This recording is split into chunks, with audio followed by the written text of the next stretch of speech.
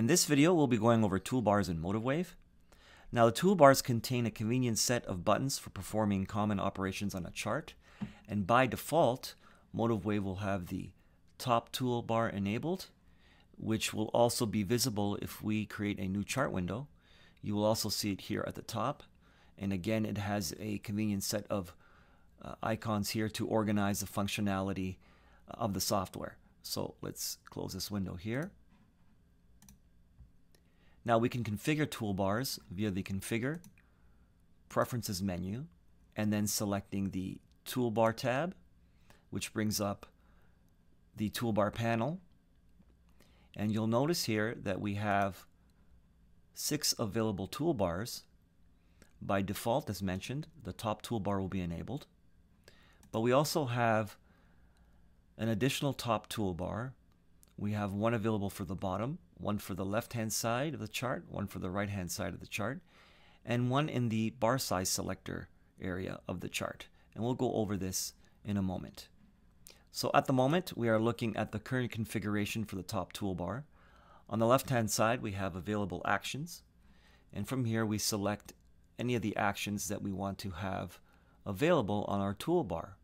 So if we currently look at the top toolbar, you'll notice here we have the quick search, which is the box here. We also have, let me go back here, the search for instrument, which is the magnifying icon here. Then we have a separator, so we can add space.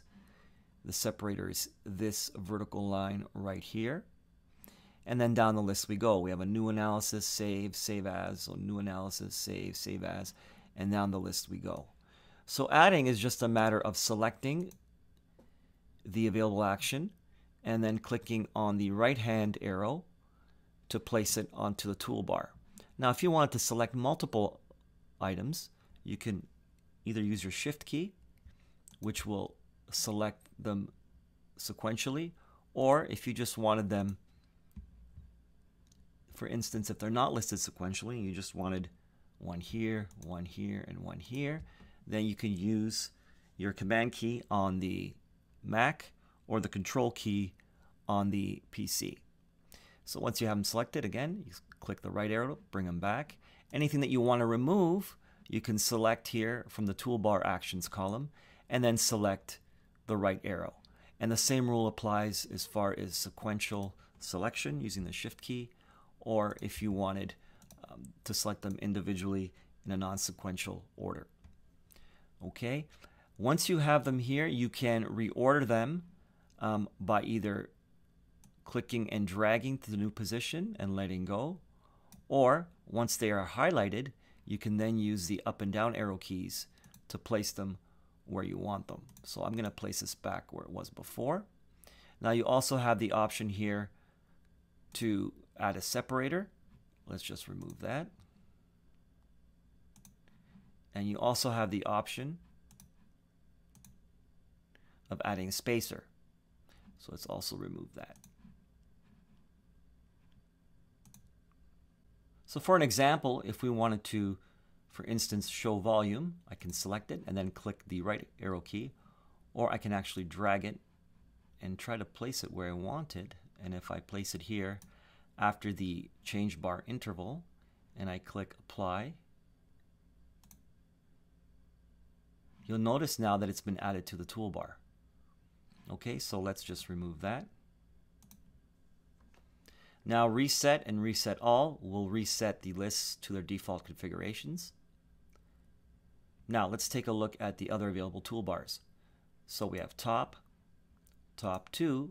If we enable it and click apply, you'll now notice that a second toolbar here has been added and we can again configure that the way we like. Okay, so let's turn that one off. We also have bottom, if we enable that one and click apply.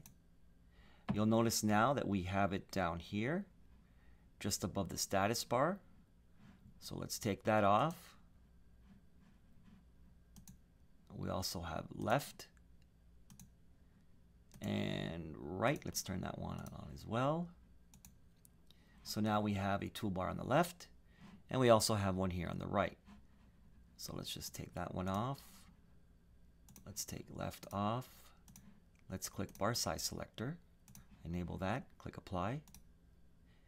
And now you'll notice that there is an additional toolbar here in the bar size selector area. Just like all the other available toolbars, you can configure it as you wish by selecting and removing or selecting and adding items. Okay, so that's it for this video and we'll see you in the next.